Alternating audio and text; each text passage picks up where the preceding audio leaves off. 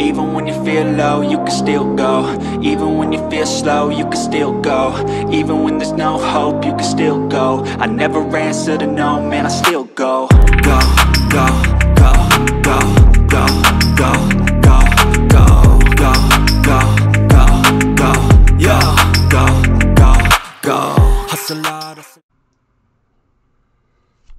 All right, y'all. Good evening. Good evening. How are y'all? How's everybody out there in the world? Hey, how you doing? y'all gotta excuse my demeanor from me not being all, but my body is kind of sore from working. But anyway, good evening. This is not gonna be the normal introduction. But we have more from Mexico. Today's topic Cartel apologizes. Since when does a cartel apologize? That's the weird part. When the, when does a cartel apologize? Please tell me that. When does a cartel apologize? But let's get into this and see what's going on with this so-called letter that the cartel wrote to the Mexican police. Now, about a fifth person who almost joined the four Americans who were kidnapped in Mexico in that minivan. The group all grew up together, according to the wife of one of the survivors. They were from South Carolina, where the local community held this vigil last night. NBC News correspondent Morgan Chesky is near the southern border in Brownsville, Texas. He's following this for us. Morgan, we just learned that the cartel sent a letter to the Mexican police. What do we know? Yeah, Kate, this is a wild development here that's just happening in the last hour or so. These have been photos and a picture of a letter that is now circulated on social media. Uh, I do want to credit my colleague Ken Dilanian for just confirming through a senior law enforcement official who told NBC News. All right, y'all, real quick. I want y'all to pay attention to this scene in this video right here. There's a body over here. There's a body right there. Either these are the two bodies right here where this is blurted out at. But pay attention to this right here. What's going on. And watch him right here. Because he pulls the body from over here. I don't know what he's getting ready to do with it with a with a body that's not moving. That's not that's not even animated anymore. I don't know what was he gonna do with it. Put it in the back seat of the truck. But you see all these people right here. You see all these people right here. They are getting ready to go about their whole day. Just watch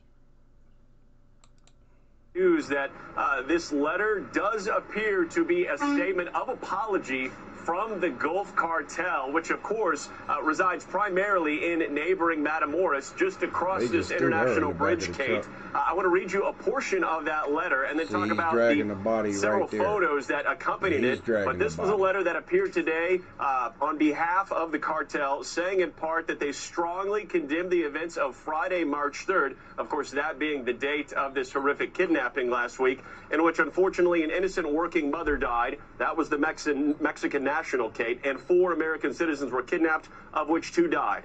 For this reason, we have decided to hand over those involved and directly responsible for the events who at all times acted wow. under their own determination and indiscipline and against the rules in which the CDG has always operated. That acronym.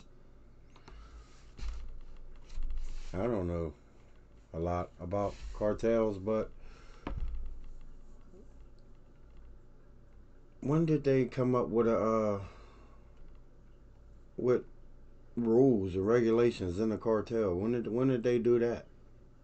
I mean, I'm quite sure there is, but I don't I don't know. But the way they're talking is like you gotta ask permission to do something.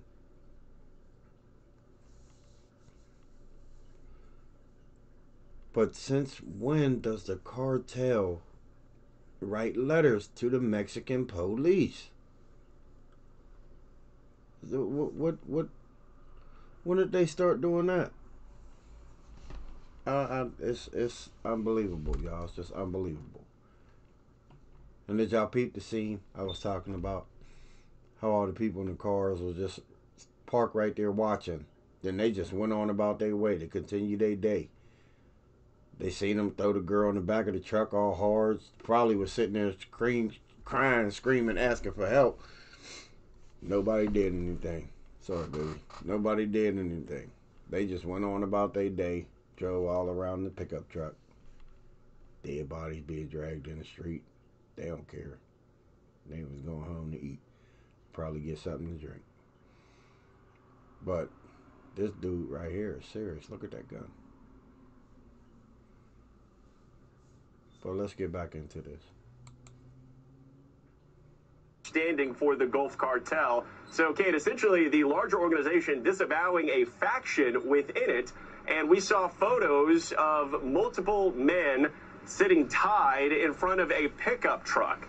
Very important to note here, Kate, we do not have confirmation that those men have been taken into custody They by Mexican law enforcement at this time. Uh, but we do have a senior law enforcement official in the United States uh, saying that he does believe this letter and believes photos released by the cartel are indeed real. Much more to come, though. Kate? Yeah, th- this is really a big development, and it, it really raises the question, doesn't it, Morgan? If they're apologizing because of all the attention that's been on these American citizens, what about all the other people who are involved in cartel violence every single day? There are thousands of people missing in Exactly. Mexico. Yeah, there absolutely are. And I had a chance to speak with a cartel expert a short time ago. I asked him, put this in.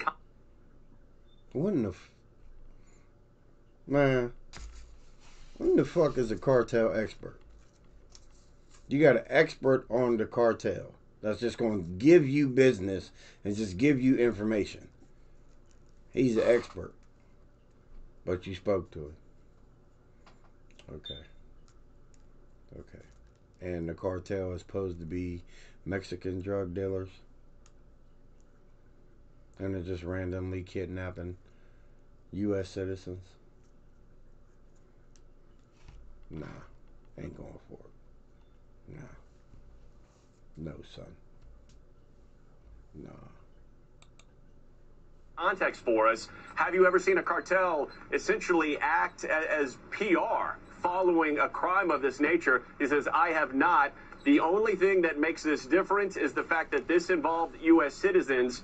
And he added that, as you mentioned, Kate, there are kidnappings, killings, indiscriminate crime that takes place not too far from where I'm standing. Uh, but because it involves Mexican citizens, there would never be an apology of this nature coming from a cartel. Exactly. Thanks for watching. Exactly. So, like I was saying, I don't know where the uh, this letter supposedly came from, but if y'all seen the letter, please screenshot it, send it to me in my comments so I can put it up on my page and we can sit and have a conversation about that. But till next time, y'all. Love y'all. Peace. Stay blessed.